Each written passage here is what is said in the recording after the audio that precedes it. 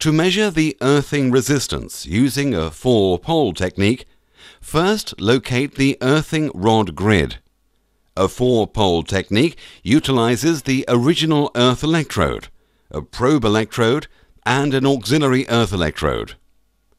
The first connections to make are to the earth rod.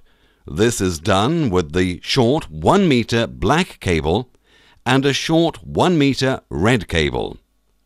Attach the crocodile clip ends to the earth rod at the bonding point.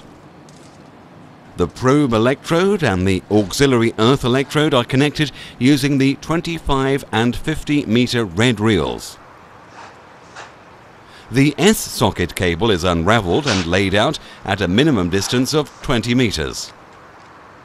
The H-socket cable is taken past the probe electrode and extended a further 20 meters in a straight line and connected to the auxiliary earth electrode.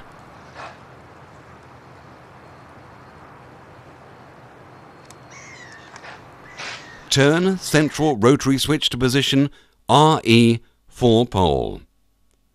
The short 1 meter black cable connects to the E socket. The short 1 meter red cable connects to the ES socket. The probe electrode connects to the S socket and the auxiliary earth electrode connects to the H socket. Press Start. The active symbol indicates that measurement is in progress. For continuous measurement, keep Start pressed. The tick symbol indicates completed measurement. The result is kept on the display until a new measurement is started or the rotary switch is turned.